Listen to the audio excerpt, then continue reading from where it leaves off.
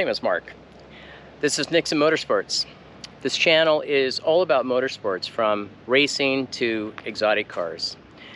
Today's video, this will be a lessons learned discussion about cam chain tensioners, manual versus OEM. I think you might find this interesting, so let's get into it. So for those of you who are new to this channel and do not know, I race a Formula 1000 race car. The reason I mention that, these race cars are motorcycle engine powered. Well, like many of you, um, I grew up around motorcycles as well, um, both, of course, dirt and then sports bikes on the road and so on. And I'm going to tell you a story and then tie this all together for for any of you racers out there that are motorcycle engine powered race cars specifically, um, I think you might find this of interest. Um, I had a lot of challenge and trouble uh, and ultimately I believe I found the solution um, and, and so this video is really talking about that. okay, so let me talk about um, just mindset, if you will, in history. There'll be a little bit of talking here, but I think the the uh, the story behind this is important. So for me at least, I grew up around motorcycles, especially when I got into the sport bike stuff a thousand years ago. That, you know, it was common, it was a common thing, you know, that the very first thing you would do when you get your bike, you know, you would, um, you put a manual chain tensioner um, on the engine. And you would do that for reliability. Um, you know, a lot of people talk about, you know, if you don't do that, if you run it hard, you know, you can have failures and so on. That stuck with me for, forever, quite honestly. And every every sport bike I had, um, and again, these were, you know, 30 years ago, right? So quite a while ago. But every sport bike I had then, you know, I'd put these manual tensioners on. Never had any issues, worked fine. Look, it was low cost. It was an easy thing to do. Many of you probably do that or did. Um, so I, I just want to share that, okay? So now speed forward to my Formula 1000. So I've been racing this car now for about six years roughly.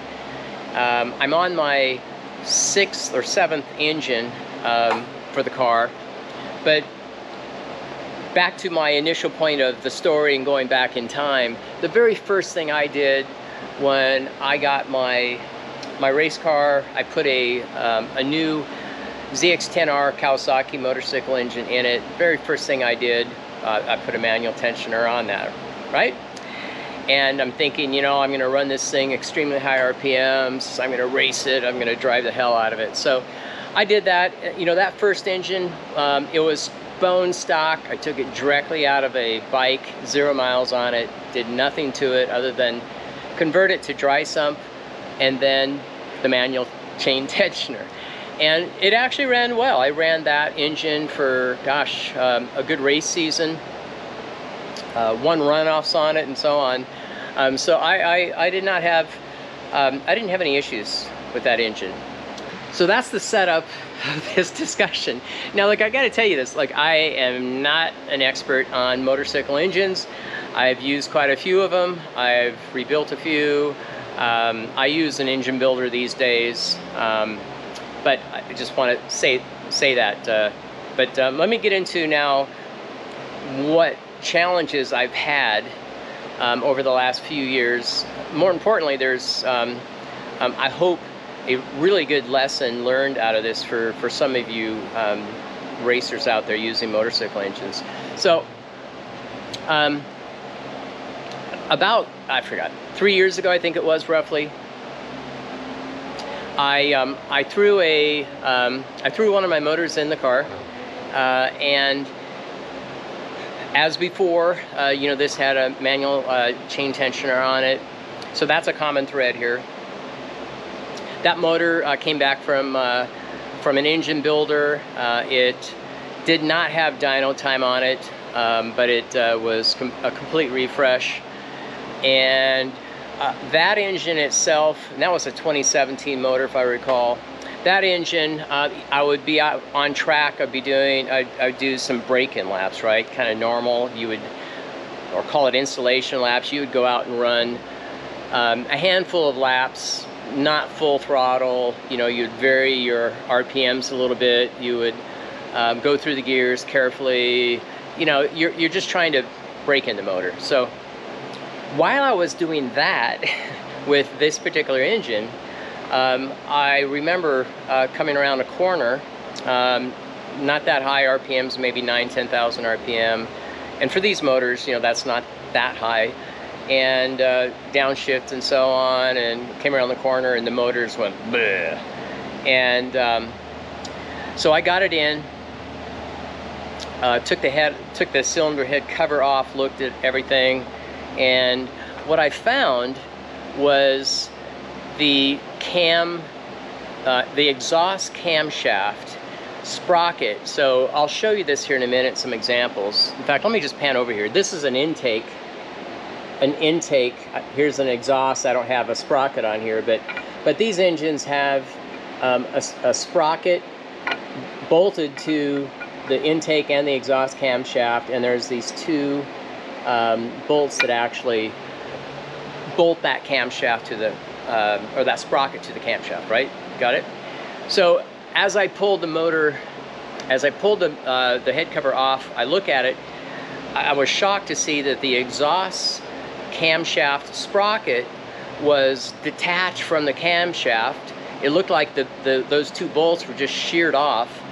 And obviously, you know, that's not good. Uh, you know, pistons and valves touch. You know, it's not a good day, right? And uh, so that's what I saw.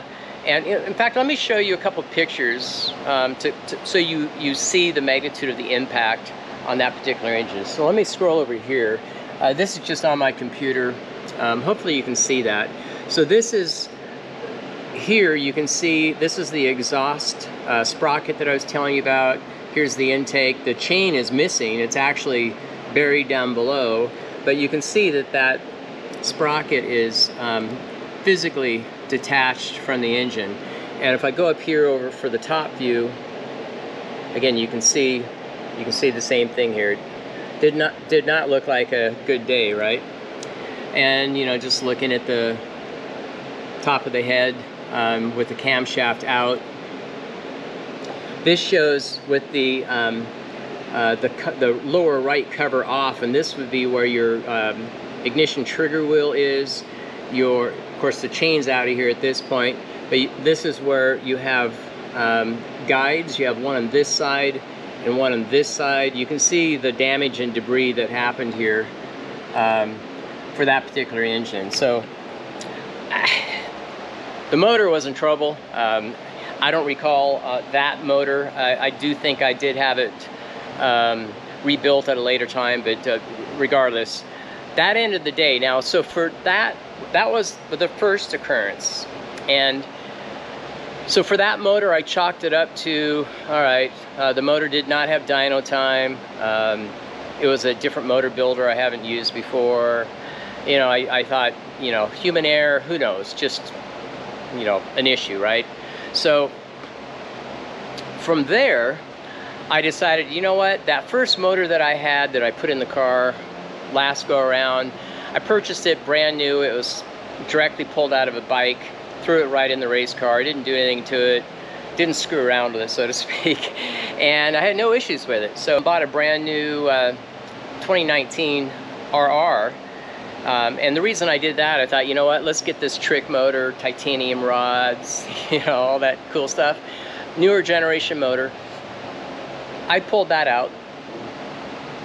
Um, threw that engine in the race car. Again, OEM, totally stock. I had to put the dry sump on it. I, I put the manual chain tensioner in it or on it. And um, outside of that, it was a bone stock motor. Threw it in the race car and um, this time, because it was a brand new motor, um, I haven't ran it. I thought, you know, maybe I'll, I'll, I'll put it on a chassis dyno just for grins, um, the whole car, and just basically break in the motor, um, and then ultimately just do do a little bit of a, tuning, double check on timing, fuel, that type of thing.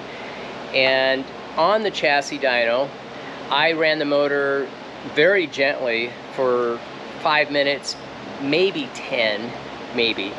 And I was just starting to change the uh, RPM duty cycle a little bit. I was gradually going through gears up and down, not crazy uh, RPM, still just taking it nice and easy. The motor went, it, it puked, it's, it, it was in trouble. So that ended that session, brought the car back, pulled the valve cover off. It had the same issue as the very first motor. The brand new motor that I just purchased, that exhaust, that exhaust camshaft sprocket, the two bolts, and this is the intake again, but those two bolts sheared off and valves touch, touch pistons and I thought to myself, okay, wait a minute. That's two times. This isn't coincidental, I don't think. This is, uh, this is an issue. Spent a lot of time talking, researching, um, double checking, you know, the manual tensioner, uh, forums and online what people do for the appropriate tension, talk to my engine builder, of course, on and on. Let's now continue the story. I'm not trying to talk forever here, but it's important that you hear the, the background on this. So now I'm on um, um, on that same motor. So that 19 motor goes to the engine builder. It was repairable, so it was rebuilt and um, sent back to me. And this time that engine had dyno time, so it was uh, it was broken, uh, ran well. Got that engine back in the car, and same thing, installation laps, taking the car around the track. Um, again, like I talked earlier, nice and careful. You uh, spend, you know, 10, 15, some minutes just uh, um, making sure everything's uh, okay in the car and the engine. Sure enough, third time, third time, uh, engine went bleh, uh, brought it in. Sure enough, that exhaust uh, camshaft sprocket, those two bolts were sheared. And um, at that point, uh, the motor was uh, a little more damaged uh, than the first go around. Um, uh, luckily, it was salvageable. I was able to actually um, rebuild that engine again. But um, that's three times. Now, you would think after once, you'd think even after twice, you know, that you would sort this out. Um, and, and trust me, there was a lot of time and conversations with many trying to do so. So I had to get ready for um, a race weekend coming up, I had I took my backup motor. It was uh, dyno tuned, tuned, prepped, ready to go, and um, that had a manual tensioner on it too, like every other motor that I have. And you know, again, I thought one more time I'm talking to uh, another fellow racer. You know I was looking online and thing that made me feel very uncomfortable and always has with these manual tensioners you know people talk about you know you you tighten it up just till you hear the noise goes away or you back it up and uh, you know it's so non-scientific or non-absolute.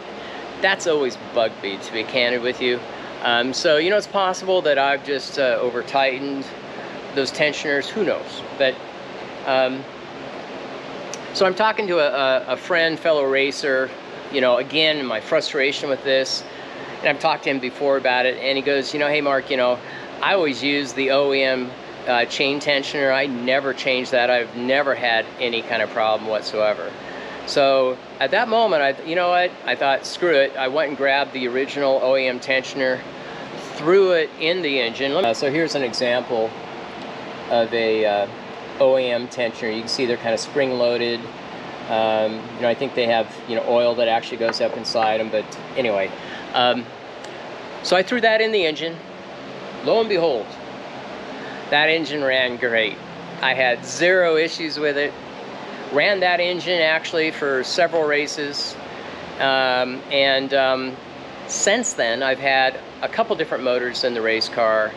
Uh, I only use the OEM tensioner after that moment. I have never again had that problem that I had uh, three times in a row. So let me let, let me talk about why that may be.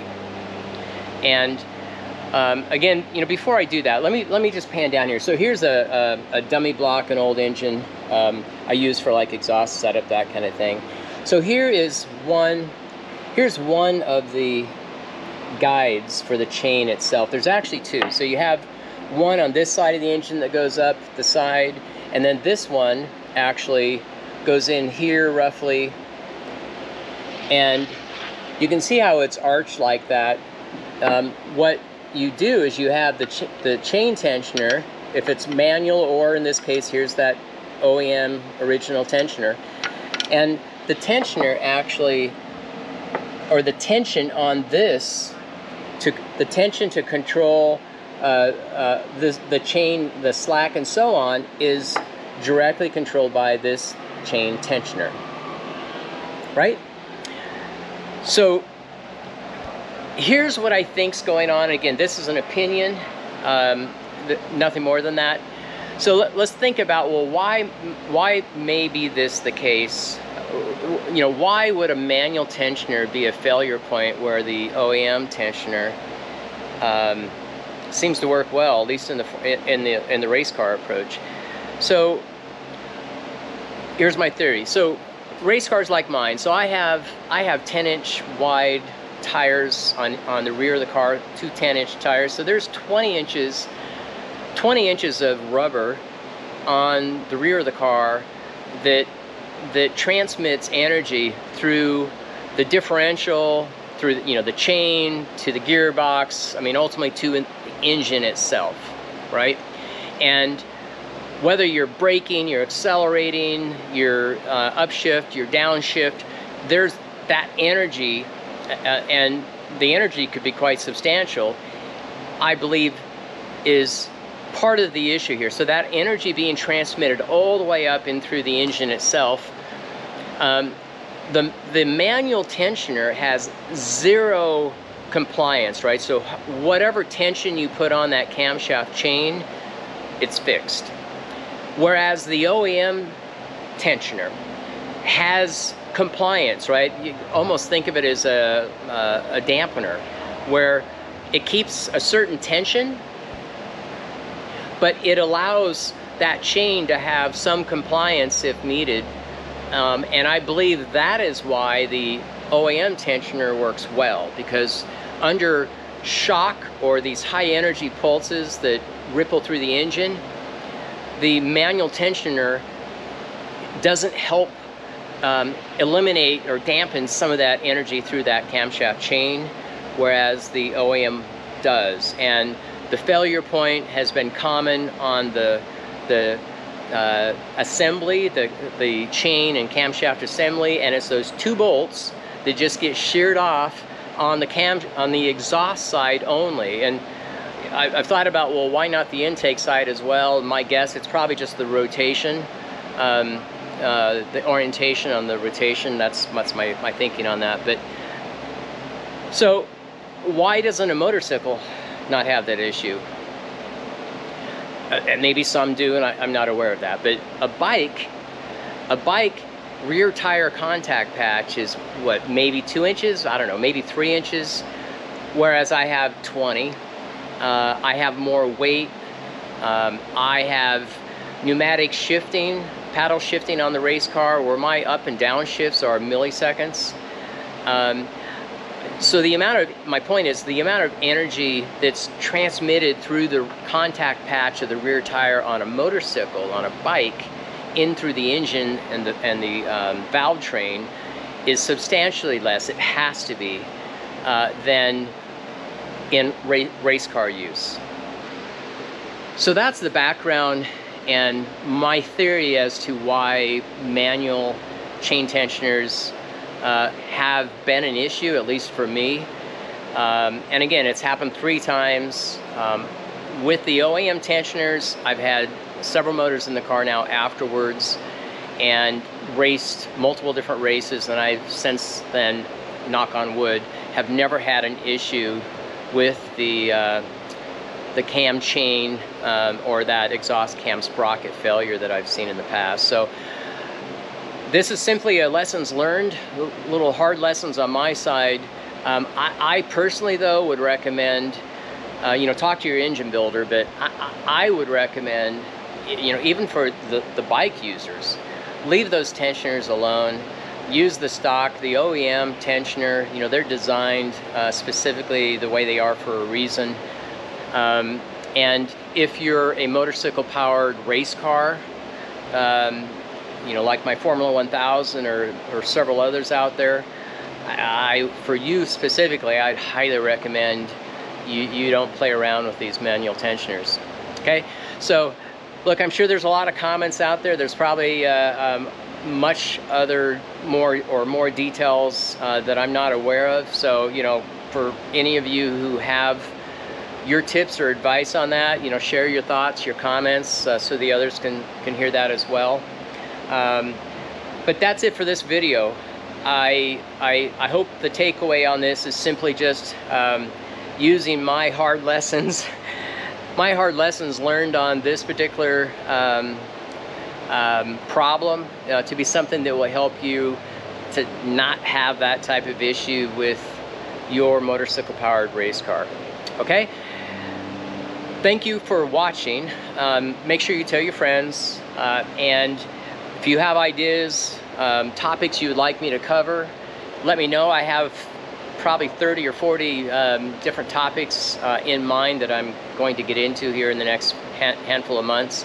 But uh, you know, I, I, I, do enjoy the comments and the thoughts.